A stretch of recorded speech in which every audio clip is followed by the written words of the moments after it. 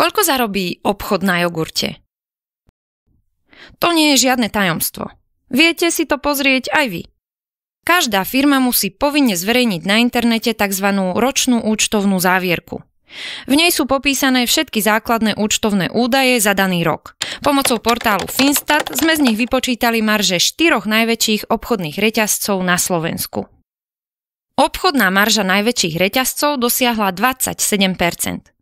Znamená to, že ak máte v košíku tovar, za ktorý pri pokladni zaplatíte 100 eur, obchod za tento tovar výrobcom zaplatil 73 eur.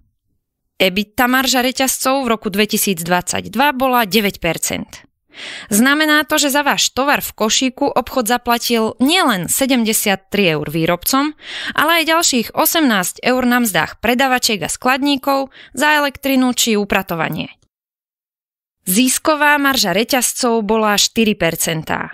Znamená to, že 5 eur z vášho nákupu pripadá na budovu, chladničky či dane. Vy zaplatíte za nákup 100 eur, no obchodníkovi z toho ostanú vo finále 4 eurá. Teda nie stovky percent, ani desiatky percent, ale 4 percentá.